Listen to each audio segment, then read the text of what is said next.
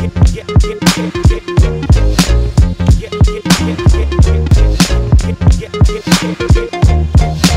guys, welcome to yet another showing of the Sports Heads uh, minus Andre Dixon. So I am taking over his merry men uh, with Chris and Daniel today. Um, hopefully I get this right, I suppose. This first off, and welcome to you guys. How's everyone doing? Hey, you did good, man. One try. Good job. Good job, man. Good job. Good job. Replacement's looking good, man. You might have a solid job in the future. Hey, As long, as long as your internet doesn't cut out at the end, mate, I'm good. I'm good. Like last time. I pray. I pray. Let's see how we get on. Let's see how we get on. I don't hear any of your fanboy dogs in the background. I don't hear Chris's AC going all out. So looks like we're good this week, which is good. good. Let's jump. You know what? I want to jump straight into it. You know, because you know, some great, there's some great topics this week. Um, once again, it's just showing that sport is on the return, um, which is good. And obviously, this I say success of the NBA so far, of what they've done has obviously caught the eyes of a few other sports and uh, other people in the states. And Mr. Sean Payton, the the, the ever trying to get that Super Bowl ring for the Saints, um, is trying to get this over the line and make sure the season does take place. And more importantly, that when it comes to crunch time, they see the season through. So he suggested a post-season bubble like the NBA. Now, I think there's a few Huh. extra parts in this. So I'm going to start with you, Daniel. Do you agree with trying to get something like that done? And do you think it would actually work? Well, I'll be hypocritical and I'll be re- reminiscent of myself to, you know, bash Sean Payton on this suggestion, considering that I made a suggestion similar to this for the regular season, but having it sort of three or four major hubs for each division. Um, so in that respect, I have, to I have to have his I have to have his back. That being said, um, look for me personally, I think when you when you're looking at the postseason, I think it's a little bit premature because you don't know what's going to happen in the season. You don't know if COVID actually recedes. You don't know if it increases. We don't actually know what's going on with this virus, and I think the unpredictability of this virus lends itself to not be unpredictable when it comes to planning for stuff like this. I appreciate that he's trying to think ahead, trying to think to make sure that he ensures the game. But if you are already planning for the season to go ahead without a bubble and you're planning for it to go without fans for a lot of stadiums, what's the point of now trying to plan for a bubble when it comes to the latter stages? It's not the NBA. It's not that short. I think even if the teams, I think he said he wanted 12 teams, even just 12 teams alone, there is more personnel than the NBA operations put together for that bubble um, restart. So it has to be practical. I don't think it is practical. I think he needs to focus on sort of the season, focus on the Saints, and focus on Drew Brees, who I'm not sure if he can carry their team to a championship this season. So that's on me. Chris, get in there. Uh, yeah, the whole Sean Payton bubble postseason thing, like Dan just said, is kind of backwards. Um, you should be trying to figure out how to keep everyone safe now instead of waiting to see if your team is um, in the postseason. And plus, Sean Payton is making his claim as if his team would be in that bubble. We don't know the way the Saints have, have been going on last couple of years. Uh, I know he would want that, but um, for it doesn't make any sense to me for like what Dan said. I'm not going to reiterate, but let's just think of how it would probably look if the NFL went to a playoff bubble. So you have 12 teams, one city, probably uh, is 53 men on each team plus staff. So we're looking at a lot. We're looking at over a thousand people in one concentrated area, um, just working, and and and and how the city would operate. I mean, that would be a whole lot more uh, to do and deal with than the NBA is dealing with. And they already said how treacherous that was to be in Orlando, and they obviously have smaller operations that they deal with. So I don't agree with the uh, NFL and bubble if they're not starting the regular season. It seems like the NFL is sort of taking the Major League Baseball kind of um, approach when it comes to this COVID 19 uh, uh, pandemic. We see what's happening in the Major League. It's a total catastrophe. You understand why Sean Payton wants a bubble, but you should be thinking about doing that from the offset, not just the postseason. Uh, that one is a bit of a head scratcher for me. Yeah, it's uh, it's something to be looked at. I suppose you both made good points there, and we just don't know what is around the corner. We don't know where this is obviously going to go. Um, so I think Sean Payton is getting a little bit ahead of, ahead of himself. Let's deal with the first point of this season first, and uh, we'll obviously go from there. Um, but yeah, still fingers crossed that we actually do see a touchdown in that first week. We're supposed to, right? Um, so yeah, that's, it's good to hear. Plus, I've got to say, and I, I am going to say this: um, a big shout out actually to the NBA because it has been entertaining um, watching this obviously unfold. And yeah, we've actually had some success from it, and I think you guys would agree on, on that as well. Taking us into the NBA, what we have seen so far: Vince Carter, Kawhi Leonard. He's mm. saying he would be the goat if he got another championship. Now, Vince I love you, guy, but that's a big shout. And I'd like to hear what you guys have got to say about that, considering the, the names that are in this in this little sport here that we call the NBA. Kawhi Leonard, Goat, Chris, views.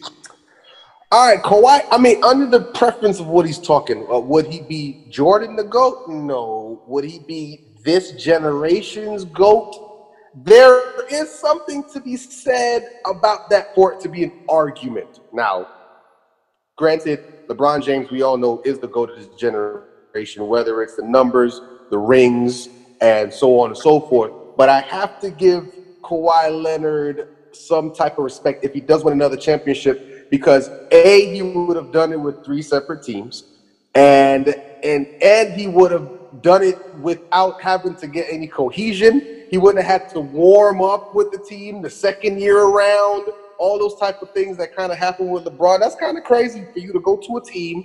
Let's say he wins this year. Last year he went to a whole nother organization, whole other coast, and won.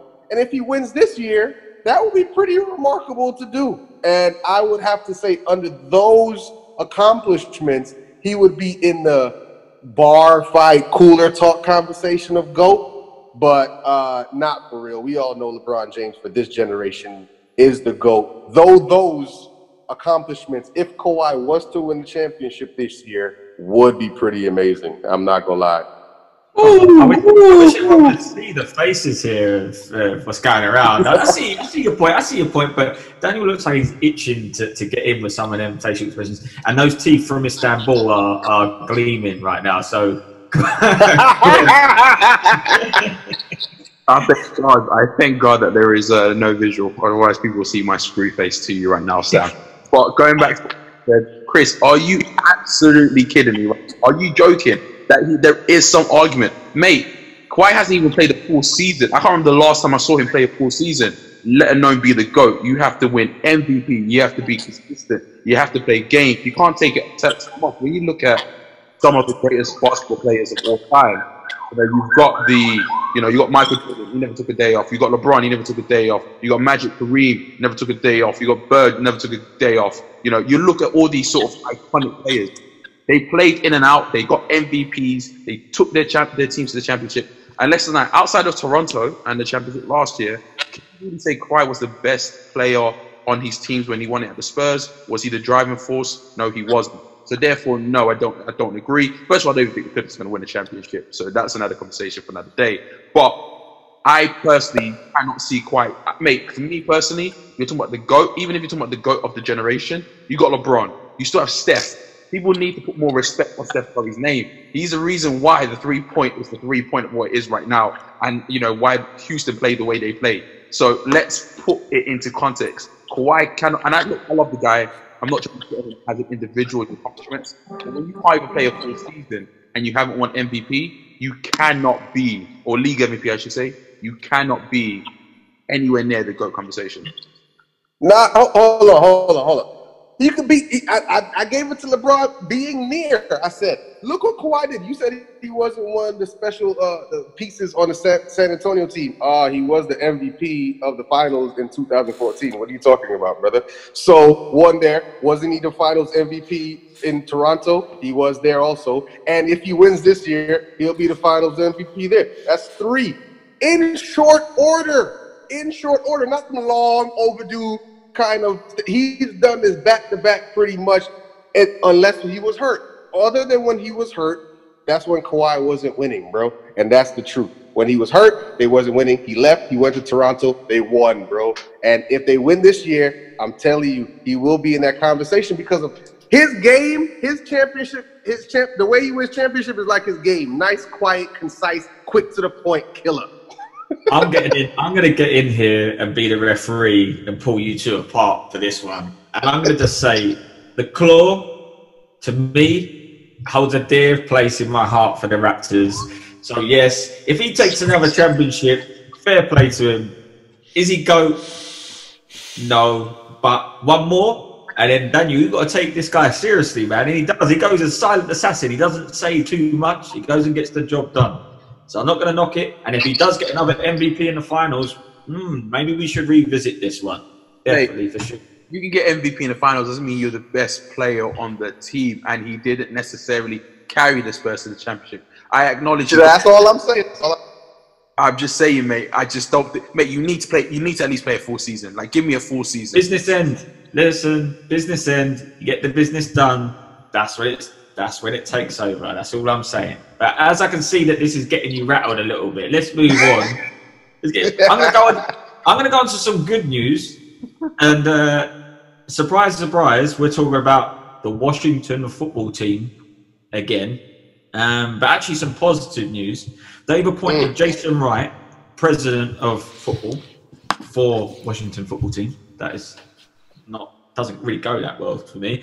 Um, and he's an ex-Cardinals player, so you know, big up to another Cardinals uh, player. I feel like we also seem to get to talk about all my teams somehow. I try and find another way. Um, but Daniel, what, what, what do you think this? Do you think this is a?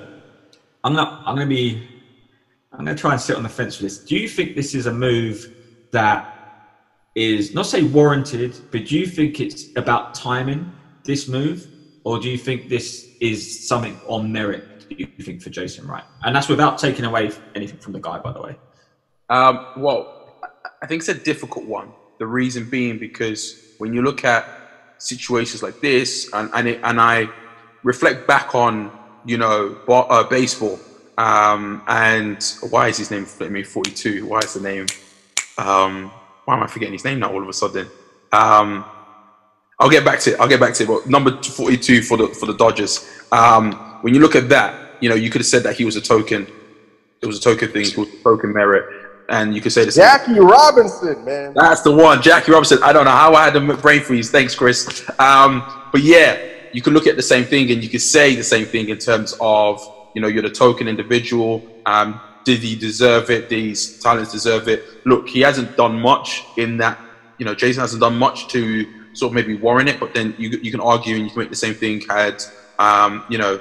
Um, uh, John Elway, did he deserve it when he became team president for Denver? Yes, he won then, but had he actually become an, a, a, you know bona fide executive? So I think it's the timing is obviously a bit suspect. You got a lot of people that are going to ask the question, and let's just put it out there: Did he get it because he was black? You know, Washington now going through this whole new phase of you know, of being a bit more politically correct with the name change, the lawsuits from sexual harassment, and now you've got your the team's uh, first black president. And it's ironic that Washington has its first team black president after it's changed its name, considering that Washington was the last team to have a black player on their team. So it's uh, look, we, we've got to see what he can do. End of the day, football is there's a lot of nepotism, and you can argue. No offense, Sam. Did Kings uh, did Cliff Kingsbury really deserve the head coaching job after he got sacked from his you know his university? I don't think so. So you know there are loads of situations where people haven't really deserved the opportunity and they've got it. So for me, let's let's give the guy a chance. Yeah, Chris. Uh, 100%. I think Washington is definitely uh, reeling to try to be on the right side of history after being on the wrong side uh, for so long. I do give them, I guess, credit for moving so fast on these particular um, topics, whether it's their name change. That was kind of done for money. Um, they had some situations in the front office with uh, uh, sexual harassment. That was tough. But then they get a, some good PR news by now um, hiring Mr. Wright. Um, when it comes to did they get it right? Um, are they wrong? I don't think it matters. I think it's all based on if this man knows football. He says they say that he's the right hire at this time.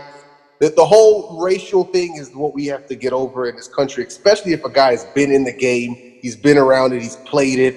Um, the people around um, feels comfortable with him in the front office.